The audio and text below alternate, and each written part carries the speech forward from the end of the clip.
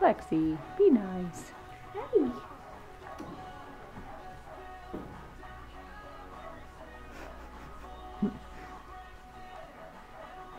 Does she smell that hamburger you had for lunch?